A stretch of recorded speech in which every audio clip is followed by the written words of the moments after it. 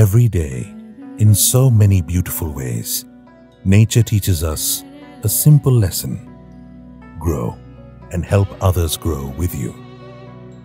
It reminds us that trees standing in the scorching sun provide shade for others. They bear fruits, not for themselves, but for others.